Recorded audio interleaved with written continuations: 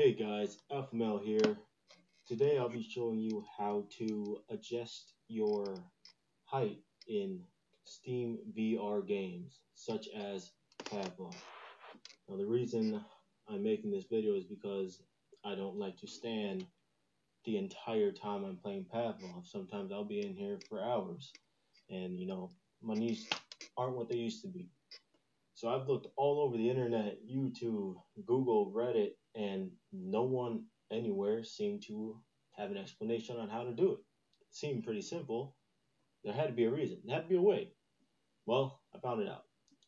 First, let me show you an example of what I'm talking about.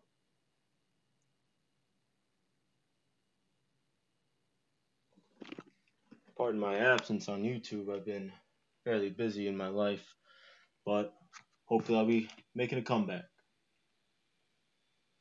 All right, let me put my VR headset on.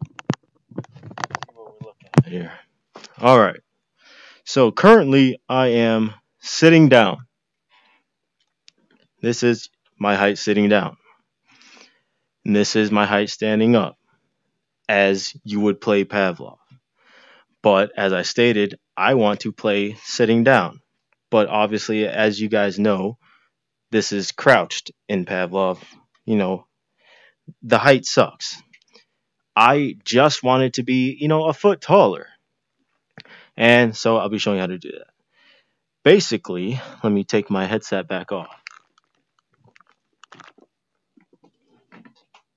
It's actually really, really simple. I was pretty mad that it was this simple and no one anywhere knew how to do it. So once you open Steam VR, it shows that it is running. Then in your Steam VR library, at the bottom, Steam Room Setup is available. For some reason, it's not available any other time unless this is here. But you're not going to be in your library in Steam VR. So then just click Steam VR Room Setup. Yeah, whatever, ignore that. And then this is just what I did. I like just figured out how to do this, so bear with me. And then click next. I'm going to hold my VR up to where my head is and click calibrate.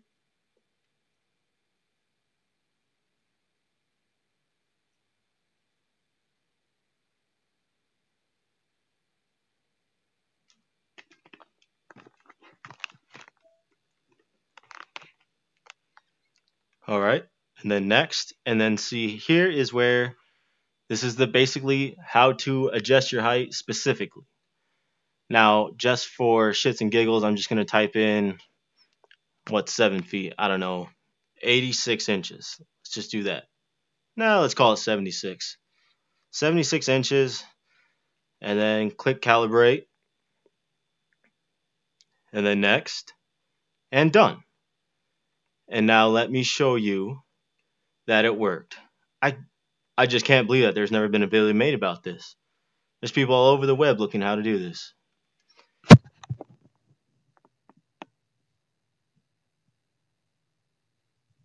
Which is the base of the videos that I make.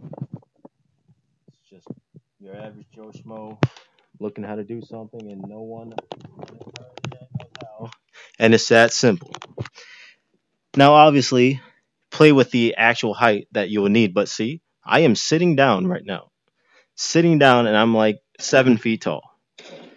Therefore, normal dude, giant, really. But that's up to you to determine the actual height that you need. So, yeah, it's that simple. Rate, comment, subscribe. Give me a shout out for coming back. Alpha Male out.